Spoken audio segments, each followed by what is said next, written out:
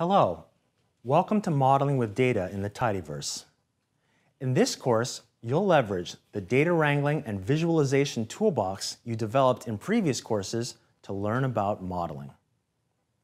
The ideas behind modeling are crucial to many fields, including statistics, causal inference, machine learning, and artificial intelligence. You'll start by equipping yourself with some theory and terminology related to modeling. In chapters 2 and 3, you'll learn one of the most widely used techniques for modeling, linear regression. You'll end by assessing the quality of models. For example, how well does a model fit given data, or how good are a model's predictions?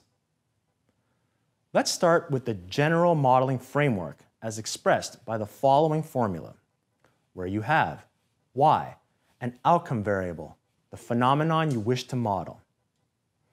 X, a set of explanatory or predictor variables used to inform your model. The arrow on the X indicates that X can be a vector, in other words, a series of values. F, a mathematical function making explicit the relationship between y and x. f of x is also called the signal. And finally, epsilon, an unsystematic error component. Epsilon is also called the noise.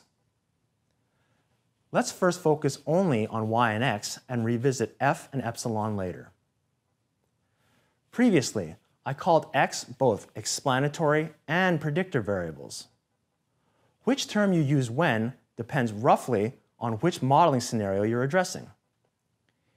If you want to explain what factors are associated with or cause the outcome variable, you are modeling for explanation, and thus X are explanatory variables. If you want to make predictions of the outcome variable, you are modeling for prediction, and thus X are predictor variables. Let's start with an example of modeling for explanation.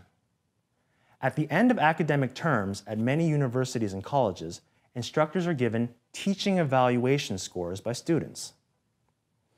A study conducted at the University of Texas Austin investigated whether differences in scores could be explained by differences in instructor attributes. The outcome variable is average teaching score for different courses.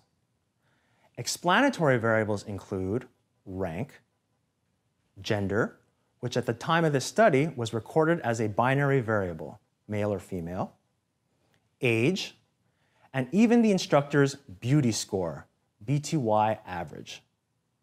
We'll talk more about that later. The evals data frame included in the Modern Dive package contains this data. The Modern Dive package is used in moderndive.com, an open source written and published electronic textbook on statistical and data sciences that Chester Ismay of DataCamp and I have co-authored. This package includes other data and functions you'll be using in this course. Let's preview the data using the glimpse function from the dplyr package. Observe that there are 463 instructors and 13 variables in this data frame. A crucial first step is an exploratory data analysis, or EDA. EDA gives you a sense of your data and it can help inform model construction. There are three basic steps to an EDA. Most fundamentally, looking at the data via a spreadsheet viewer or using Glimpse as I did earlier. Creating visualizations, computing summary statistics. Let's do this for the outcome variable score.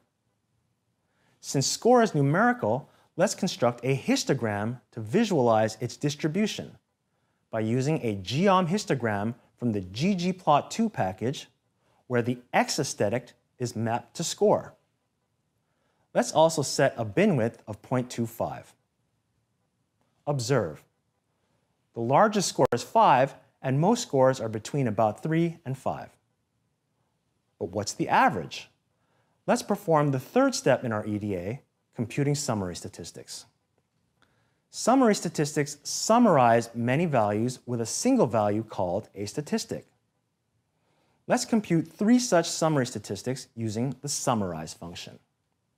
The mean, or average, score is 4.17, whereas the median of 4.3 indicates about half the instructors had scores below 4.3 and about half above.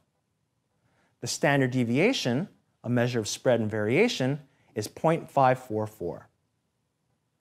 In our first exercise, you'll be performing an EDA on a different numerical variable, this time instructor age.